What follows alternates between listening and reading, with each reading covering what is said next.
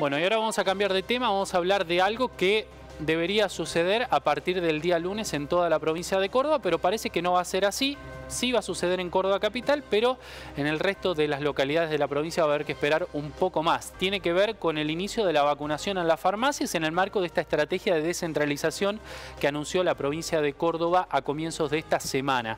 Estamos en contacto con Mariano Rosas, presidente del Colegio de Farmacéuticos de Río Cuarto. Mariano, ¿qué tal? Buen mediodía. ¿Qué tal? Buen mediodía para todos ustedes, ¿cómo están? Muy bien, bueno, Mariano, en principio, el lunes eh, las farmacias en Río Cuarto, en la región, todavía no van a poder vacunar a aquellas personas que así lo deseen, ¿no? Mm, no, por el momento eh, lo que se ha acordado es que a partir del lunes comienza la campaña descentralizada en farmacias solamente para la, la ciudad de Córdoba, Córdoba Capital, y con un grupo de farmacias que por estas horas están recibiendo una capacitación especial y, han cumplimentado con, con, ciertos requisitos para poder ser parte de la misma. Bueno, en un primer listado que se había difundido, eh, se daba cuenta de cinco farmacias en la ciudad de Río Cuarto. ¿Qué ha pasado con eso? Bueno, eh, como por el momento se, se, ha centrado, se, ha centrado, la campaña en Córdoba, ha quedado en, en un cuarto intermedio la incorporación de la red para todo el interior provincial. No obstante, nosotros desde Colegio de Farmacéuticos eh, hemos aportado un listado de alrededor de 400 farmacias para, todo, para toda la provincia que han dado su consentimiento de poder de participar en esta, en esta campaña. Eh, de este listado tenemos unas 12, 12 farmacias de la, de la ciudad de Córdoba que han dado su consentimiento y otras 50, eh, entre 50 y 60 farmacias más del interior de nuestra delegación que también han dado el consentimiento para participar de esta, esta campaña. Eh, lógicamente hay que cumplimentar una serie de, documentación y de formalidad que tiene que ver con, con, el expediente que ha solicitado el Ministerio para, para poder darle curso a la, a la adhesión de estas, de estas farmacias y, y en el momento en el que la campaña sea eh, abierta para el interior de, la provincia, estas farmacias ya estén disponibles para poder llevar adelante este dispositivo. Bien, entonces, en, el ámbito de Río Cuarto, ¿cuántas farmacias estarían en condiciones de, de, sumarse?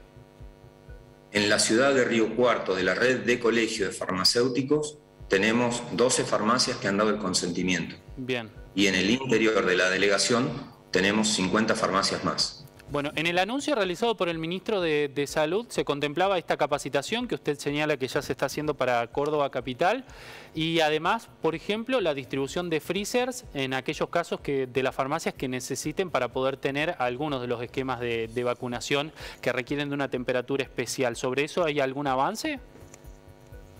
Eh, bueno, es parte de la logística que se está, entiendo, que se estaría resolviendo en estos días en función de poder dar participación a la red del interior salvando estas cuestiones. ¿no? Entiendo de que mm, no es fácil disponer de toda la cantidad de freezers que hacen falta para responder a un estado ideal de situación y en ese, en ese contexto tratar de llevar la realidad eh, sin ir en desmedro de, la calidad del sistema eh, lo más cerca de la idealidad posible. ¿no? Entiendo que las partes están eh, aunando esfuerzos como para que esta esta realidad lo más parecida al ideal sea posible. Bueno, y otra información sí que es, eh, que es importante es que las farmacias por el momento solo se van a encargar de vacunar y no de realizar test también, como se había anunciado en un principio.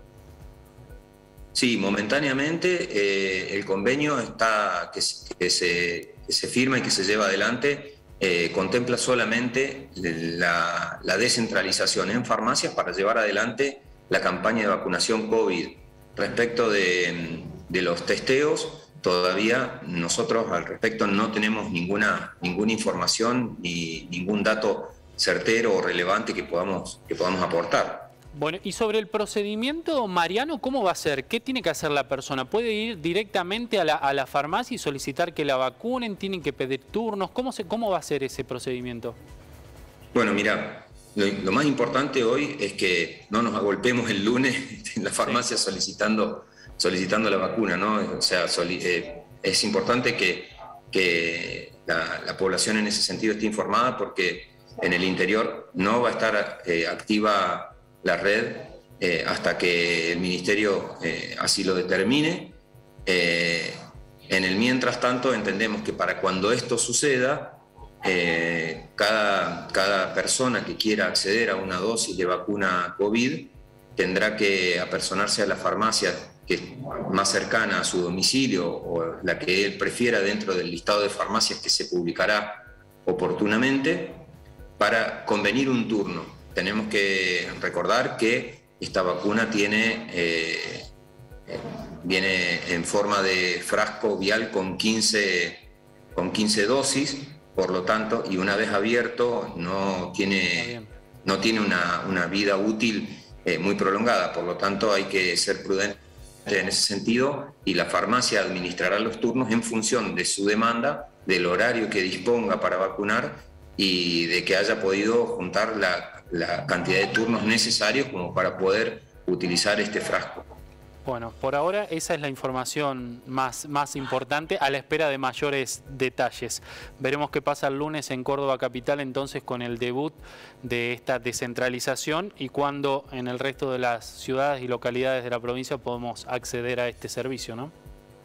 Sí, por supuesto, por supuesto, eso es lo más importante, solicitarle a la, población que tenga paciencia, eh, que ojalá se lleve todo en buenos términos en Córdoba, que entiendo que va a servir también como como prueba piloto y que pronto podamos tener eh, en el interior eh, provincial también la campaña centralizada porque entendemos que esto va a ayudar considerablemente a poder tener una inmunidad de rebaño. Eh, hoy se amplía el rango etario a la, mm, de gente que se puede vacunar, pasa a ser para mayores de 18, tenemos entendido que va a quedar en condiciones de ser vacunada alrededor de, de un millón de personas dentro de la provincia de Córdoba, por lo tanto eh, por poco que se haga, va a ser de mucha ayuda. Eh, así que bueno, agradecemos muchísimo también a las farmacias que han manifestado su voluntad de participar en esto y como te dije, eh, solicitar paciencia tanto a las farmacias como a la población para que luego de que esta campaña haya sido un éxito en Córdoba Capital pueda ser extendida al interior. Bien, Mariano, muchas gracias por este tiempo con nosotros. No, por favor, muchas gracias a ustedes. Bueno, información importante porque nos están consultando qué va a pasar con esas vacunas. Si van a ser gratuitas, sí, son vacunas gratuitas que dispone el Estado y eh, se vale de la red de farmacias para poder vacunar y así aliviar la carga que tiene hoy el Estado para eh, poder vacunar y las demoras que hemos visto.